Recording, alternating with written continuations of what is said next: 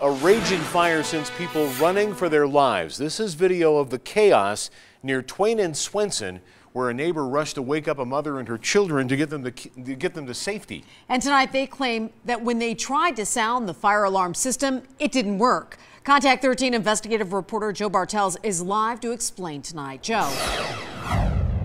Yeah, Tricia, Steve, Clark County firefighters, they raced from this station right here near Flamingo and Paradise to that apartment not far from here where there were flames billowing from that apartment. And tonight, some say they're alive because of some alert neighbors and not the fire alarms.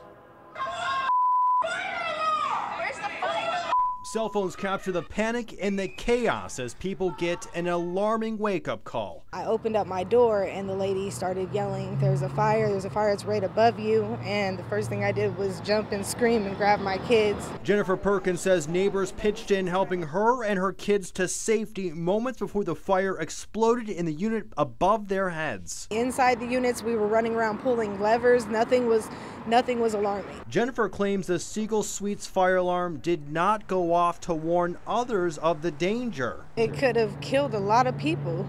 Clark County Fire made quick work of the flames, keeping the fire to just one unit. But Jennifer says her apartment suffered major smoke and water damage, and now she's out of her home. They moved us into a new unit. They're offering me free rent for a week or two, um, trying to move me into a bigger unit. Contact 13 called the Siegel Suites corporate office. A spokesperson who refused to give their name would not comment on the fire alarm system. And back out here live tonight, we asked Clark County Fire Department about the potential cause of the fire as well as the status of, as a, of that alarm system. But as of tonight, we have not heard back. Reporting live, Joe Bartels, 13 Action News. All right, thank